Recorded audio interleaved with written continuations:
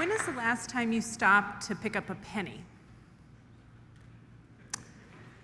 Yeah, the purchasing power of a penny has dwindled to nearly nothing over the years, so it's probably been a while. My dear friend Kristen gave me a bracelet for Christmas. It's a simple bracelet, a silver chain with a penny in the center. The penny was minted in the year I was born. Did you know that approximately 5 to 10 billion pennies are minted each year? That's like 50 to 100 million dollars in pennies. Now, this penny on my bracelet does not have much monetary value, but it means a lot to me. Although all of the pennies minted in the year I was born are worth a lot. I relate this to the value of the voice of one person offering up their story to shift how we think. While one person's story may seem to have little value, many people sharing their story, their experiences of transformation and change, that has power. That has immense value. Hello, my name is Heather Cunningham, and I'm the National Training Director at Think Tank. Our organization exists to tell the human story of poverty because all people have value and their stories matter. We bring dignity and opportunity to those living under poverty's social and economic burdens. Now, all of us listening today could probably list the barriers of those impacted by poverty. The list is long.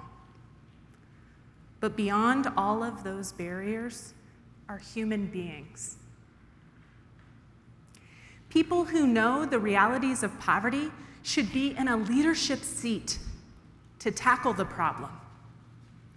When these leaders are given the opportunity to share their story, not just to stir emotion, but to shape solutions, meaningful change happens. Think Tank provides platform to these leaders. I remember the time that we partnered with a local group to influence payday lending legislation. We convened state legislators, organizations, and people impacted by the predatory effects of payday lending. Folks courageously stood in a community forum and shared their testimonies. One woman shared that if it wasn't for a payday lending loan, she wouldn't have been able to pay her rent and could have become homeless. Now, using a payday lender isn't just about poor financial choices. In fact, it's about surviving. It's a short term decision. It's a choice to avoid the likelihood of a worst case scenario. The voice of this woman and so many others helped folks better understand the realities of poverty and pass meaningful legislation to curtail payday lending. This moment, it provided an opportunity to bridge the distance a space for proximity. Now, I would say, you know, we, we work with groups and organizations to see each other's humanity first. But we're not an advocacy organization. I would say Think Tank is an amplifying organization whether it be policy change, community, or changes in hearts and minds, people are at the center of our work. Our signature training is the Cost of Poverty Experience, COPE, an interactive simulation that helps folks better understand the realities of poverty beyond lack of material resources. Participants take on the identity of a person navigating the realities of poverty. To create this training, we worked with a core group of families who we had trusted relationships with. We asked these families to not only share their experiences with us, but allow us to use their stories to create the COPE family profiles. We facilitated about a thousand COPE simulations over the last decade. 65,000 people have taken on the identity of one of the core families that helped us create COPE. So the decisions that one family made and shared with Think Tank become the decisions of thousands of people across the country. Now, there are some important tenets that we ask our trainers to reiterate to participants in each COPE. One, COPE is a simulation, it is not a game. Simulations helped NASA astronauts land safely on the moon. Simulations help doctors perform and learn life saving procedures before ever even touching a patient.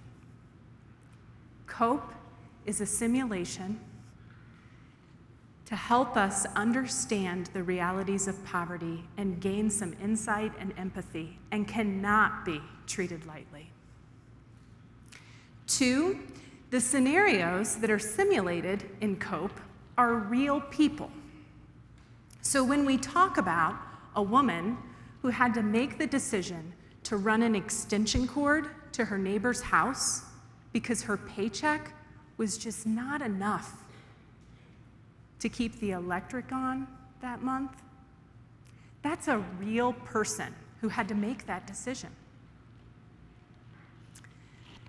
Think Tank believes that people in poverty can experience personal transformation and transform their communities. We can think about and respond to poverty differently. We bring leaders who are affected by poverty alongside leaders who are working to influence systemic change. Groups like corporations, healthcare systems, churches, and other systems of power in our country. In fact, sometimes the leaders who are affected by poverty and the leaders who are working to influence systemic change are one and the same. Poverty is a situation, it is not the sum of a person.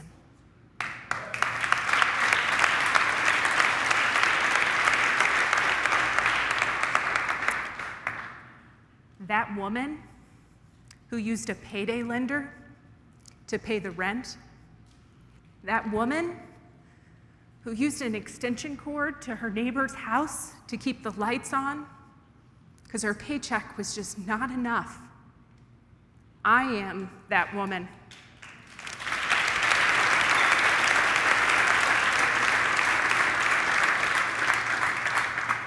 And I can tell you from experience that there are leaders listening today who understand that there may be shame that comes from living in poverty. But there is also a power. Now, my story is just one penny, but my bracelet is a reminder to me to look people in the eye, to call them by their name, to suspend my ego or the agenda of my organization, because all people have dignity and value, right? Now, this bracelet, it's also a reminder to me that those people who feel like they've been left on the ground, they too hold value. It's a visual nudge to me that my story matters alongside so many other people's stories, right?